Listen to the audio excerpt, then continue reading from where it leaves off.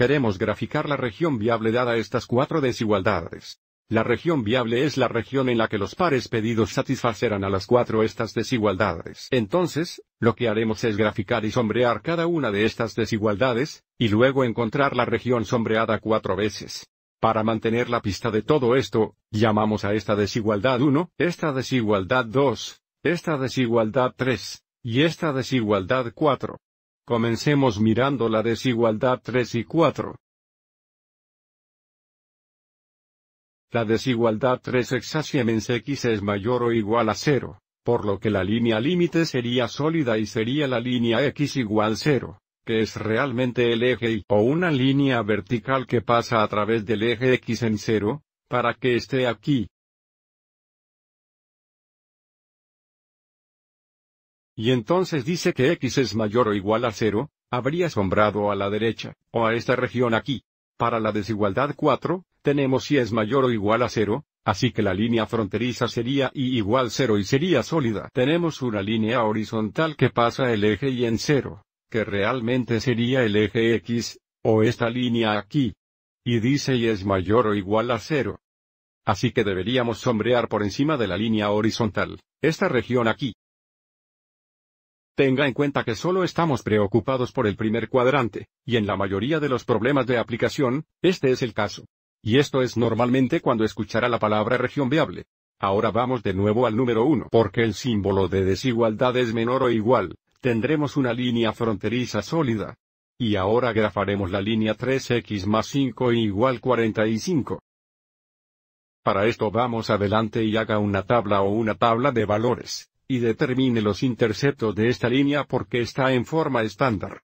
Para determinar el intercepto y, estableceremos x igual 0 y resolver por y. Y luego para determinar el intercepto x, estableceremos igual 0 y resolver por x. Aviso si x igual 0, tendríamos 5 y igual 45. Divide ambos lados por 5 y tenemos igual 9. Y entonces cuando y igual 0, tenemos tanto 3x igual 45. Divide ambos lados por 3 y tenemos x igual 15. Así que vamos adelante y dibuje esta línea fronteriza. El intercepto es, así debajo de 10 aquí. Y el intercepto x es 15, este punto aquí.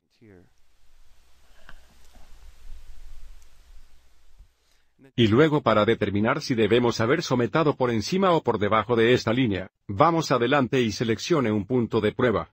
El origen siempre es un buen punto para ensayar porque las coordenadas serían.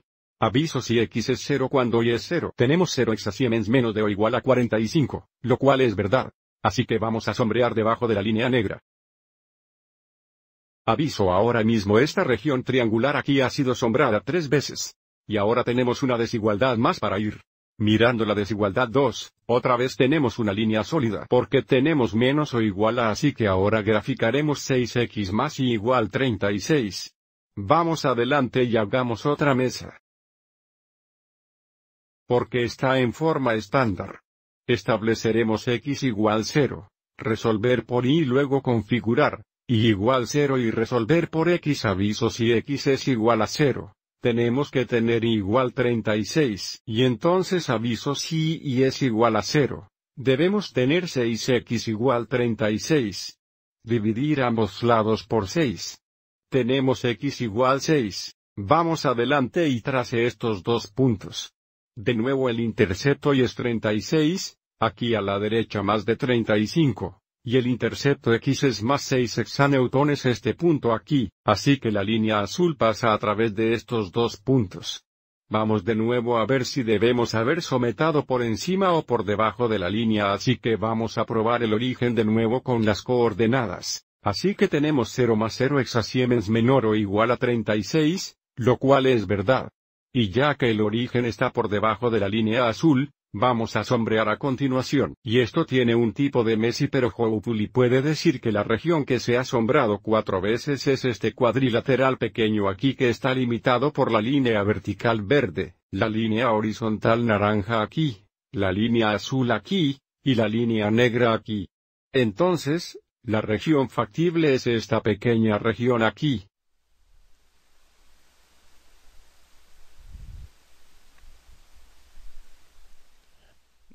Lo que significa que todos los pares pedidos en esta región satisfecharía a cuatro de estas desigualdades. Bueno, espero que hayas encontrado esto útil.